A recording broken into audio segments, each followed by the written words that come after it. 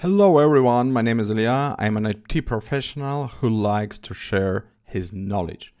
And I was asked many times why I use one part plus plus and every time I answered that it saves me a lot of time. And today it's time to show exactly how it does it. Long story short, my customer wants to migrate from one anti-spam system to Defender 365.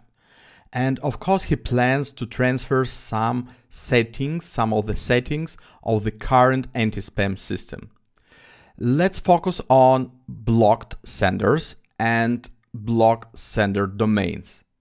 There are two different opportunities how to add information about blocked senders, blocked sender domains, the first one is to add them through the web interface.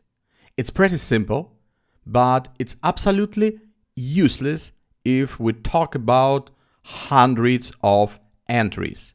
To simplify, we can use PowerShell and pass this data with a simple script. One important thing, data must be in quotation marks and comma separated. Simple? Yeah, sure. It remains to understand where we get the raw data from. My customer sent me a file where each address was placed on a separate line. Another problem was that the domain names and mailbox names were mixed up.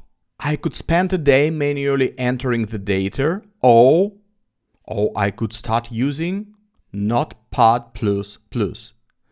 Let's figure out how quick we can solve the problem using Notepad++. Let's go. As you could notice, my file contains information not only about email addresses, also about domain names. Unfortunately, I cannot mix domain names and email addresses in one PowerShell cmdlet. And first of all, I have to remove domains, all email addresses and work only with one type of data. How to do it? I'm going to remove all email addresses from this list. To start, I just click Ctrl, sorry, I just press Ctrl F and in Find option, I go to Mark. My logic is pretty simple. Every email address has at symbol.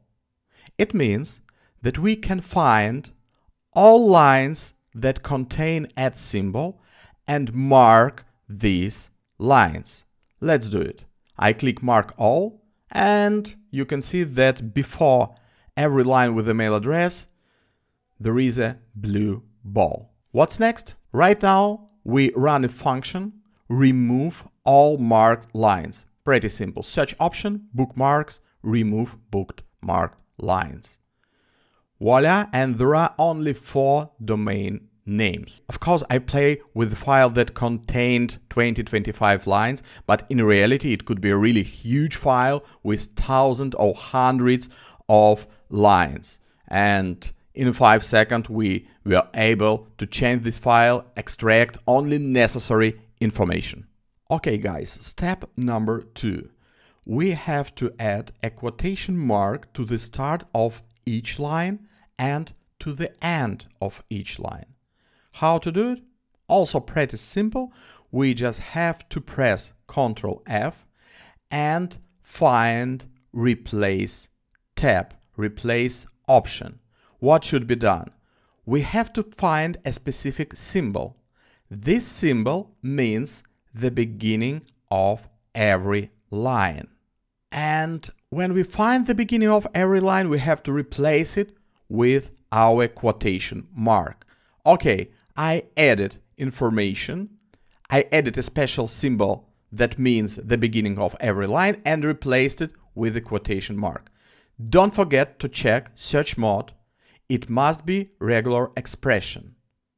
Okay, that's it. I just click replace all and you could see that every line got quotation, a quotation mark.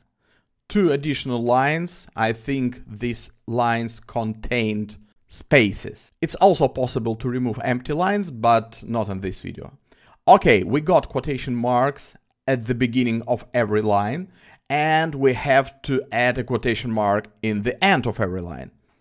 Also pretty simple. One more time, Control F, and right now we search another symbol that means the end of every line and also replace it with a quotation mark. One more time, replace all. Oh, that's it. Every line starts with a quotation mark and ends with a quotation mark. And only one thing left. We have to separate every domain name with a comma. To accomplish our task, there is only one thing left. We have to combine together all our domain names. It means that instead a lot of different lines, we need only one. And every domain must be separated with a comma. Okay, how to do it. It can be done with already well-known feature in Notepad++. I press Ctrl F and try to find slash r slash n. It means new line symbol. Okay, when every place where is a new line symbol located, we have to remove it. Or to be exactly, we have to replace it with a comma. Okay, one more time. Every new line symbol will be replaced with a comma. Voila! And at the moment we got a really, really, really long line with all our domain names. Okay, I just copy it and go to PowerShell ICE. Unfortunately, I cannot use, I cannot connect to Exchange Online using Mac operating system because uh, this PowerShell model doesn't support M1 processors. Okay, what to do next? I want to add information regarding blocked domain names. I just copy my domains and paste it to the PowerShell commandlet. I copied information about my domain names and just run this commandlet. Let's wait a little bit.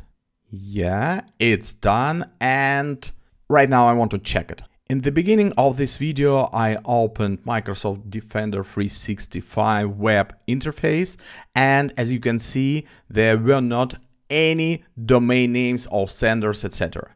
And right now I just refresh settings and open anti-spam inbound policy again. Scroll down and wow, as you see, I have four domain names. All these domain names were added using PowerShell commandlet. Okay, in a nutshell, what I wanted to say. First of all, Notepad++ is a really super powerful tool to simplify routine tasks and it's completely free. If sometimes you have to play with data, just install this software. By the way, there is no Notepad++ for Mac OS. Unfortunately, I have to run this application inside a virtual machine. Thank you very much for watching this video and see you next time. Good luck.